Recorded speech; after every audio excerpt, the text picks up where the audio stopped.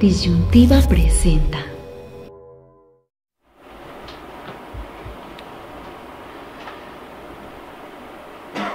Y bueno, como se anticipaba, como se advirtió, luego de que el gobierno mexicano dobló las manos en el tema migratorio ante las exigencias de Donald Trump, pues ahora este señor, el inquilino de la Casa Blanca, lo hace de nuevo. Ya se agarró a su puerquito y sobre todo en materia político electoral, amenaza de nuevo a México.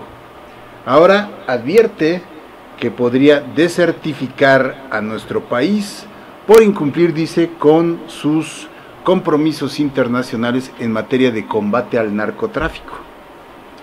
Sí, en un memorándum enviado al secretario de Estado, al señor Mike Pompeo, Trump incluye a México, a nuestro país, en la lista de países como Venezuela, como Afganistán, como Bolivia, que no reflejan, dice, los esfuerzos oficiales en contra del narcotráfico.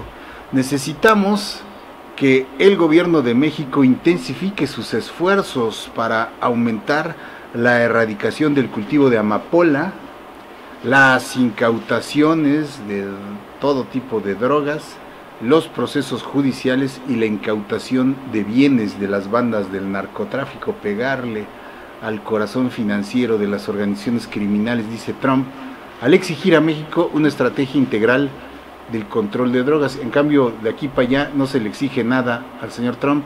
Ahora a propósito del tema migratorio y de la matanza de mexicanos allá en El Paso, no se le dijo al señor Trump que como una contraprestación, pues también pusiera el gobierno de los Estados Unidos mayor control en la venta o en la salida de armas automáticas, armas de guerra que llegan a raudales, cartuchos y pertrechos de todo tipo, que son las que apertrechan a las organizaciones criminales aquí en nuestro país. Todas esas armas, todos esos cartuchos vienen de allá, pero mire, el gobierno de acá calladito, con su amor y paz, y no se quiere meter en problemas el señor eh, López Obrador con la administración Trump.